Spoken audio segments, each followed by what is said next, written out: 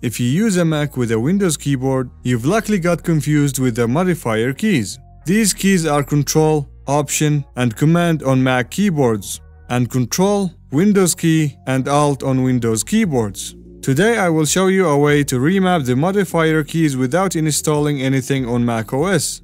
I have macOS Sonoma with the new system settings instead of the old system preferences. However, this method works with older macOS systems. First, make sure that the external keyboard is already connected.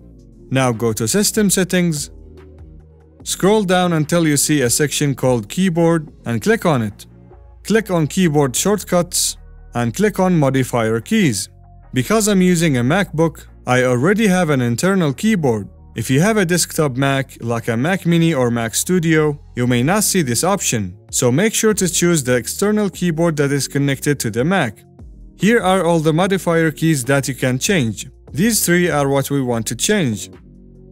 macOS by default maps the keys of the Windows keyboard to these options, the Windows control to the Mac control the Windows key to the macOS command, the Windows Alt to the macOS option. However, not everyone likes these options, because on Windows keyboards, the Windows and the Alt keys are flipped if they are mapped in macOS. This will confuse old Mac users who got used to the Mac keyboard order. You can change these modifier keys to whatever options you like, but I came to conclude that there are two ways to set them up to use them efficiently.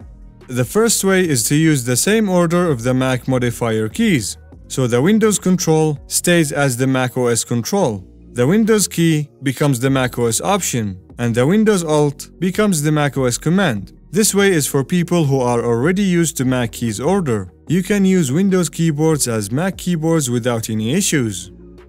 The second way is to make the macOS modifier keys work in the same order of the Windows keys order, so that the Windows control becomes the macOS command, the Windows key becomes the macOS control, and the Windows Alt becomes the macOS option.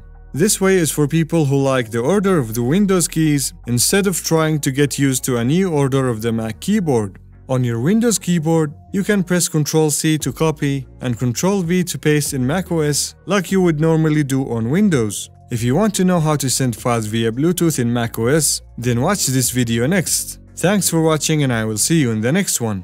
Peace.